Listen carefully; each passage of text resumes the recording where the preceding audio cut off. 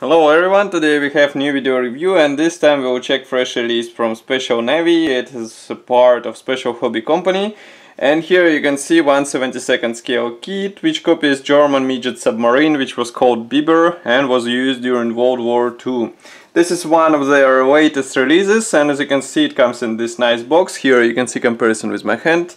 Uh, box art is quite attractive I would say. On the side we have some information about the kit and on the back side we have several marking options for this kit. Actually there are five of them so you will be able to choose which one you would like to see on your kit. So this is the side opening box so just give me a second to open it and here you can see what is inside. So there is plenty of space inside. I'm removing all the components so all plastic frames are packed into the same plastic bag and here we have assembly manual. Assembly manual is typical for special hobby products. We have short history note and Czech in English. Then comes the parts map. Here we have resin torpedoes advertisement. They're also produced by Special Hobby. And here you can see the errata connection note so that you assemble everything in the right order course assembly process starts with internals. There will be several components replicated. Then you join the hull halves and attach all external elements. And in total you will have to perform 8 steps. Here you can see marking guides for marking options. So each one is um, has its own page, let's say. So as you can see here we have different marking options and I will remind you that there are five of them. And here you can see some other products from Special Hobby from CMK and also here we have some kits for the 172nd scale Revell kit which copies type 9C submarine. So it's also quite an interesting addition which will help you replicate interior on your build. Now let's move on to the plastic parts. Here you can see them. As I said before they're packed into the separate plastic bag what we have here is this separately packed decals sheet.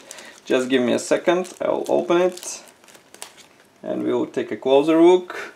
There is no mention where it is it was printed but printing quality is quite nice here you can see it. And we have all necessary symbols for five marking options as I said before. Now let's zoom out and we can move on to the clear section or clear parts of this kit. Just give me a second. Okay there are four of them as far as you can see actually five of them. Here they are molded on quite simple frame. As you can see molding quality is really nice but maybe you'll need masks for those because otherwise it will be difficult to get a really nice paint finish. Next we have two um, absolutely identical plastic frames. I'm not sure what they are replicating. I guess those are torpedoes and they should be assembled out of two halves as you can see here. Molding quality is really nice and note that each half is attached to the sprue from one side so it should be also helpful for the assembly process.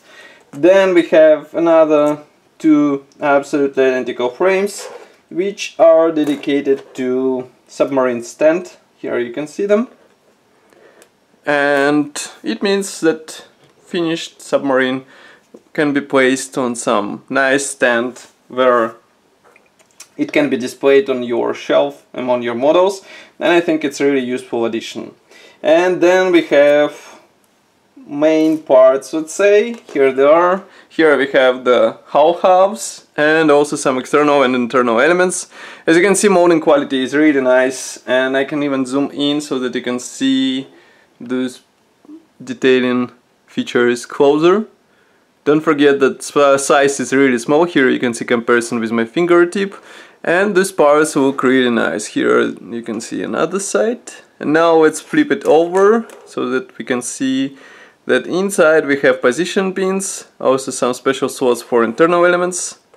So be careful while assembling this together and you will get a nice result. So that's all for this video review. I hope you enjoyed it. As usual, don't forget to write your opinion here in the comment section below. And if you like this video, press the like button and subscribe to our YouTube channel so that you won't miss any fresh video review. Thank you for watching and I will see you in the next video review. Bye!